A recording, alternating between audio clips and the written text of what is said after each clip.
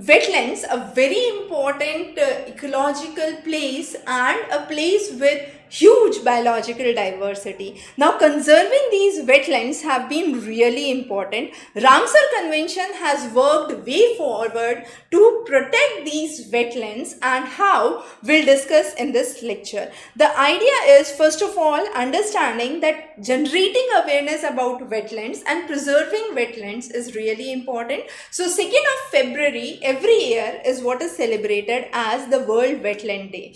Now what is wetland? Wetland Wetland is an area which is saturated with water. Now when it is saturated with water, it could be either seasonal, it could be permanent in nature, but it has its own distinct ecosystem. Now in this ecosystem you would have birds, animals, small insects, but a range of plant and animal life which would be uh, protected in that environment and would which would have an important role in protecting that environment as well right but over the years we have seen with industrialization with urbanization with mining activities that there has been a large scale exploitation of these wetlands there has been other definitions of wetland as well. So one other definition says that it is an accumulation of water after uh, rainfall. Now as the rainfall comes in, the land gets wet and now this land would be considered as a wetland because the land has become wet.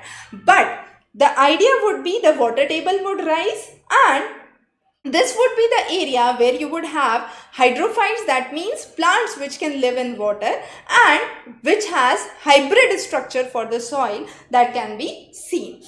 Ramsar Convention took place into 1971 and this convention was named as Ramsar because it was held in the city of Ramsar in Iran. And under the article 1.1 of uh, the convention and article 2.1 of the con uh, convention two important things were brought in. So under the article 1.1 wetlands have been classified as a marshy area a fen a peatland where natural or artificial temporary or permanent water is seen now this water could be static it could be flowing it could be salty it could be fresh it could be marine but the depth at which the low tide does not exceed 6 meters is the criteria. Now this is something very very important to remember.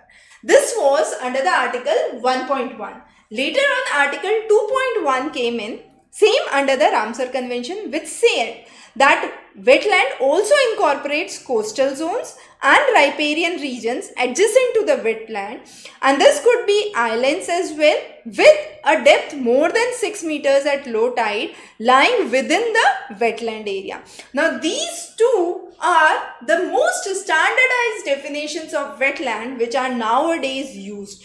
So, if it is at a depth of low tide up to 6 meters, it is considered as wetland. But if it is a riparian, coastal area or an island, it can be more than 6 meters at low tide as well.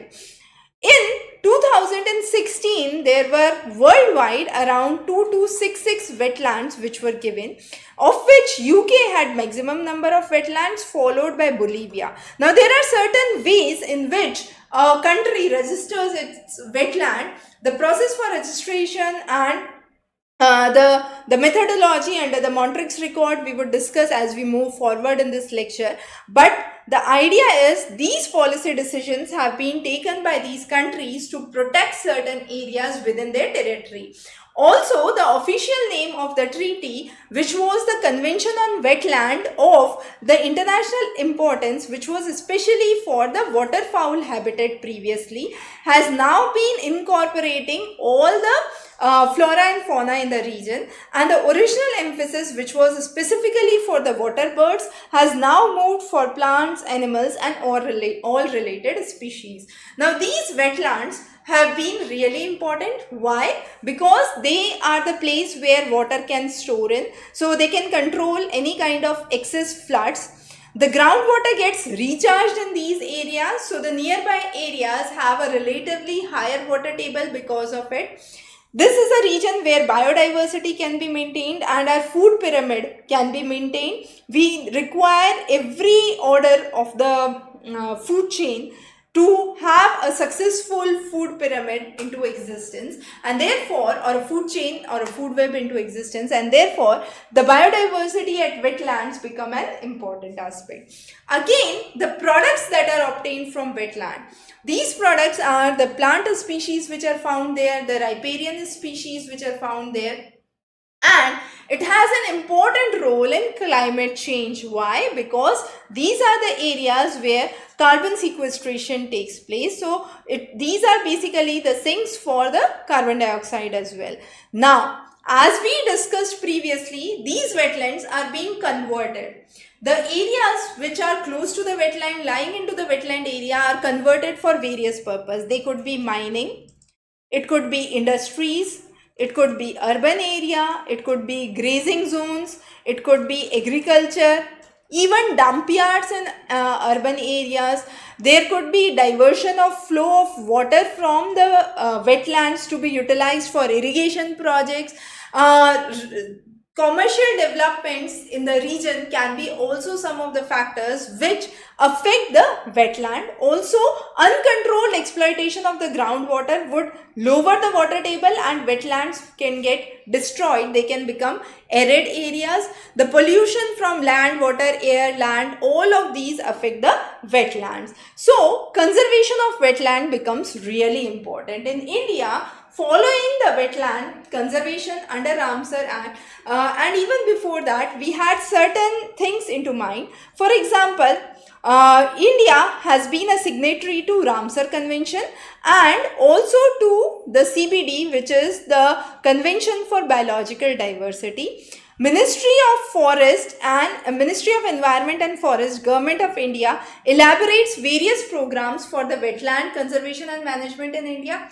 Uh, some of the important programs that we take into account is coastal zone regulation, forest conservation, air pollution, water pollution prevention, wildlife conservation, forest act, fishery act, maritime zones of India by regulating the fishing by the foreign vessels which are done, environmental development, macro uh, level action strategies for biodiversity. So all these are some of the uh, things that have been taken into account by India.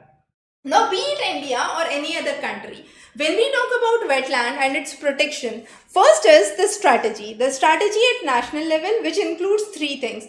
First is the conservation, management, prevention of any kind of loss and sustainable management that can be done right so that is what is called as the strategy at national level the next is once the strategy is there we enforce it so that the wetlands can be protected there has to be a proper planning and management which has to be done.